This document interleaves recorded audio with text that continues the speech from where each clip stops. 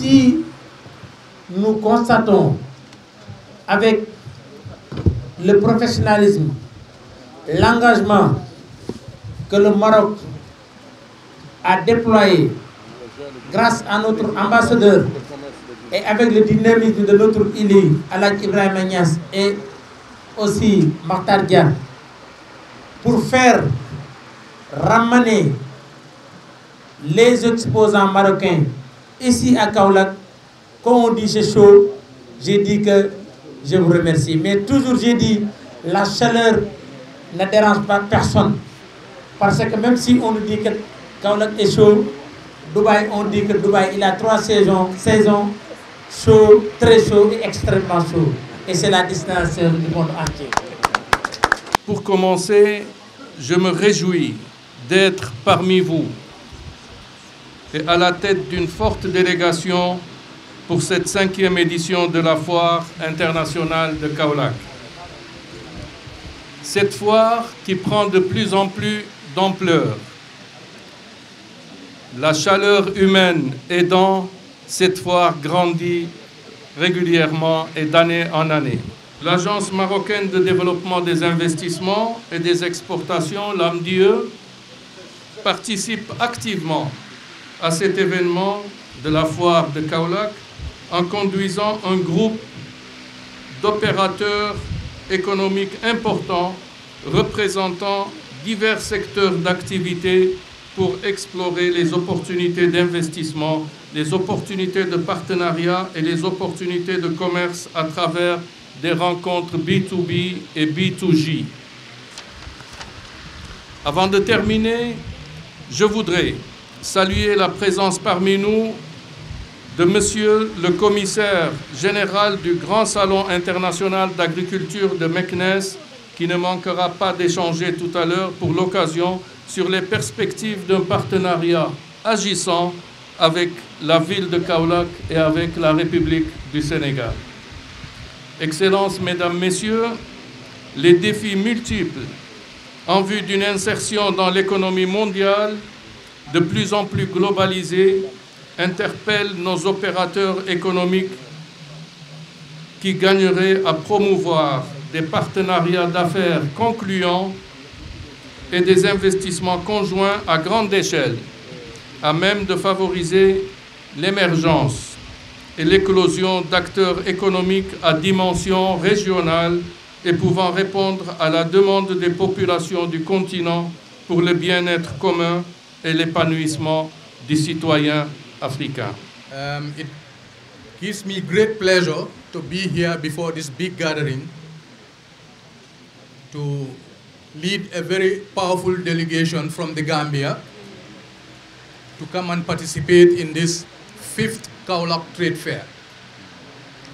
Just recently, I was invited to the annual general meeting of Senegalo-Gambian female entrepreneurs, which was well done, and the chairperson is none other than Madame Muskoro. She was in the Gambia. We had a very good meeting there with, I mean, her colleagues there. Madam Minister, I mean, this is just to strengthen the relations between Gambia and Senegal. It is a relation which has gone far before the colonial days. And um, these relations will be cemented to be stronger and stronger as time goes on. Um, as I said at the Chamber of Commerce, Gambia and Senegal, we have to be together and we have to set example in the sub-region. We have to set example in Africa and um, we have to set example in the whole world. The relationship between us is very strong. And um, as minister also in charge of regional integration, I have the responsibility to make sure that the integration is real. When we talk of integration without practicing it, you know, it does not benefit any of us. Setting the example between Gambia and Senegal, we'll go to Guinea-Conakry, Guinea-Bissau, Mali, Sierra Leone, and um, West Africa as a whole. And as I said before, we are not only talking of ECOWAS, that is CEDEAO, but we are talking of Africa, Africa Continental Free Trade Area. C'est avec un réel plaisir que je me retrouve aujourd'hui parmi vous pour présider cette cérémonie d'ouverture du forum marocain à l'occasion de la foire internationale de Kaula. Je voudrais, au nom de son Excellence, M. Macky Sall, président de la République du Sénégal, de l'ensemble du gouvernement, ainsi que de tout le peuple sénégalais, exprimer notre profonde reconnaissance à Sa Majesté le roi Mohamed VI et au peuple marocain qui nous ont fait l'insigne honneur d'être nos invités à cette édition 2020 de la foire internationale de Kaula. Par votre présence ici, Monsieur l'ambassadeur, vous magnifiez l'excellence des relations séculaires, d'amitié et de fraternité qui ont toujours existé entre le royaume chérifien et le Sénégal. Notre pays se réjouit de la formidable opportunité qui nous est ainsi offerte en cette journée du Maroc de mieux nous imprégner de la culture marocaine, de son savoir-faire, de ses produits, de son extraordinaire culture entrepreneuriale, bref, du meilleur de ce que le Maroc a à proposer au Sénégal, à l'Afrique et au monde.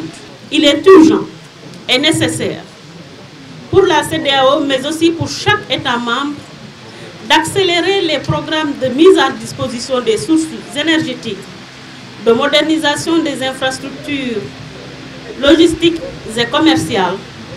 D'autre part aussi, l'accompagnement pour la mise à niveau des entreprises locales constituera un élément fondamental de la compétitivité régionale sur le nouveau marché continental.